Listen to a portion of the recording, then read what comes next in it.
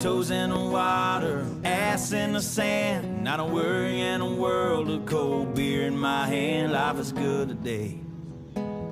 Life is good today.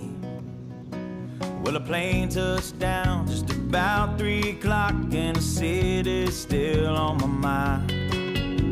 Bikinis and palm trees danced in my head. I was still in the baggage line.